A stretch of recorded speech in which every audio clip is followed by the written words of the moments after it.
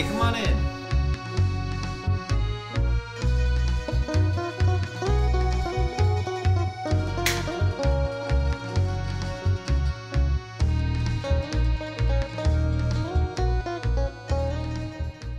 Pizza, pizza, pizza. Not doing Little Caesars. Welcome to the episode 10 of the Spitzer 14 Day Pizza Challenge. I'm Ethan, I'm Jeff. and today's pizza was Maciano's. You'll realize that PJ is not here. He's with his girlfriend right now. I feel a little betrayed that he's with her and not with us.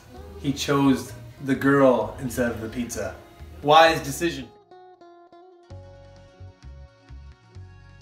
I thought the only really good thing about it was the crust.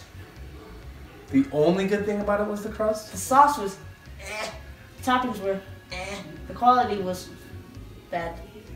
The taste was okay. Because it was soft.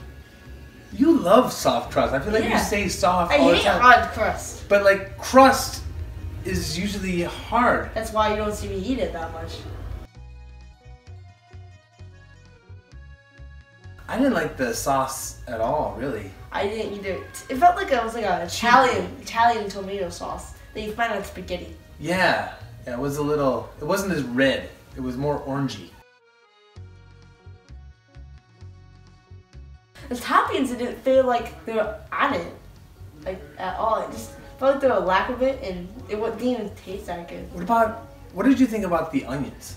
The onions, they're like I had a piece where they were like like a sausage on cheese, and then they had a huge like stack of onions, not even on cheese. Mm-hmm. And that brings me to my next point: quality. On like almost all the pizzas, the cheese wasn't even on the whole pizza. When I saw you open the box, Yeah. I was like, I'm not gonna like it because of how bad it looked. It, if looked you- bad If you're showing it right it now, that looked bad. That brings me to another point. Check out right here, where the uh, crust is all bent because the, the box they gave us wasn't even big enough to hold the pizza. So when they clo- when they put the pizza in, they closed the box up.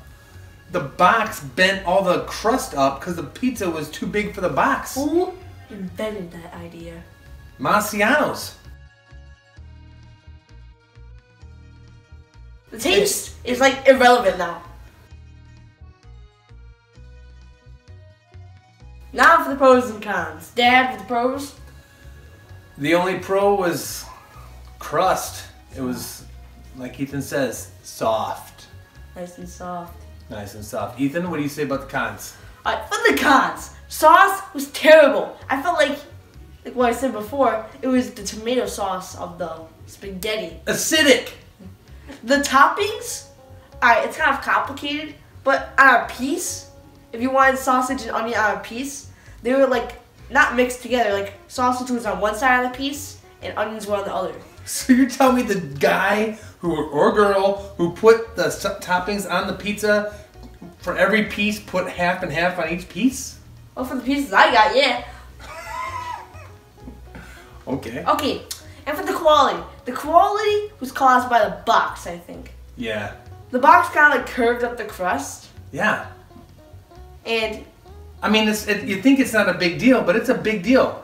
When you open up the, the box, you want it to be like, when you opened it up, you saw the crust up, and then the cheese wasn't everywhere. It was just ruined it. ruined it. And since we both kind of disliked it, we both decided to give it two and a half stars.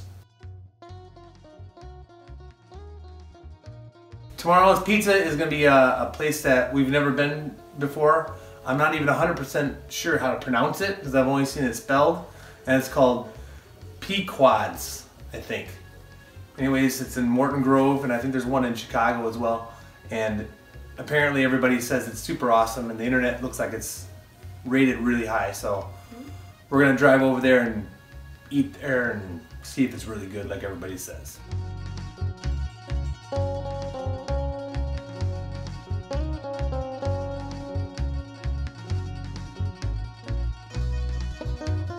Pizza, pizza, pizza. Not doing Little Caesars.